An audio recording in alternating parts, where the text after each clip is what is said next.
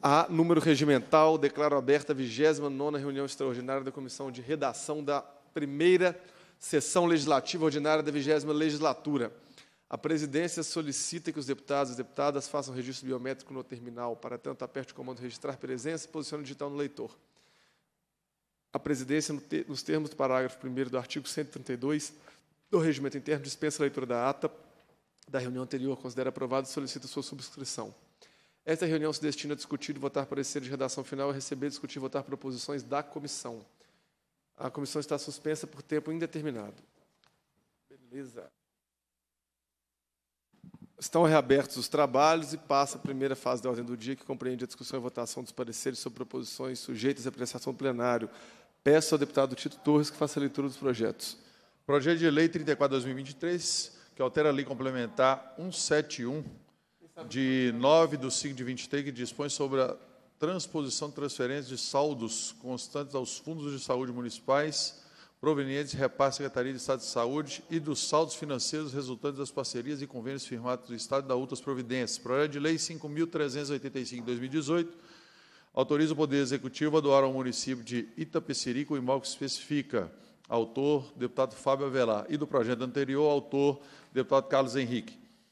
Projeto de Lei 96 de 2019, que expande a área da Estação Ecológica de Feixes, criada pelo Decreto 36.073, de 27 de junho de 94, da outras providências. Autora, deputada Ana Paula Siqueira. Projeto de Lei 2.885 2021, que dispõe sobre o Fundo de Recuperação, Proteção e Desenvolvimento Sustentado das Bacias Hidrográficas do Estado de Minas Gerais, da outra providência. Autor, governador Romeu Zema.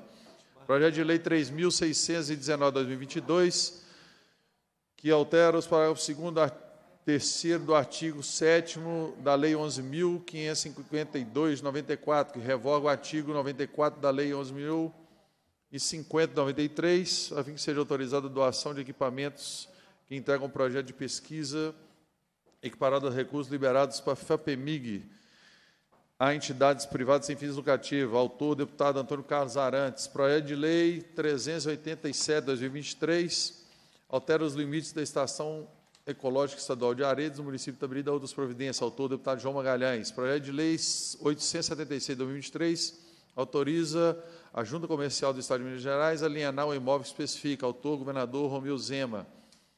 Projeto de Lei 1196 de 2023 autoriza a Universidade do Estado de Minas Gerais a doar ao município de Carangola o que especifica. Autor, governador Romeu Zema.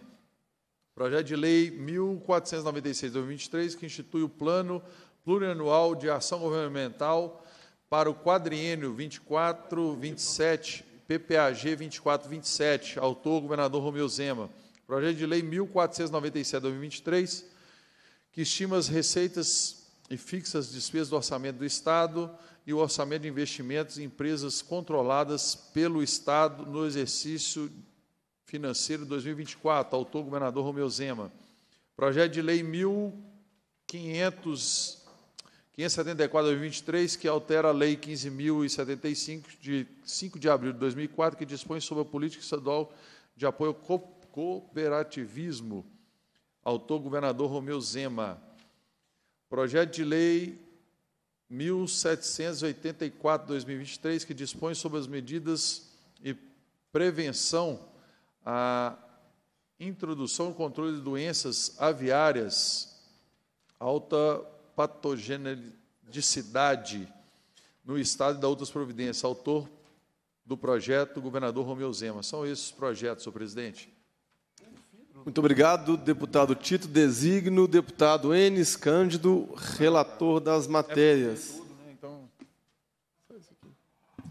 E os pareceres contêm a redação final da matéria de acordo com o aprovado durante a tramitação, senhor presidente. Muito obrigado, deputado Enes Cândido. Em discussão, parecer. Encerra-se a discussão.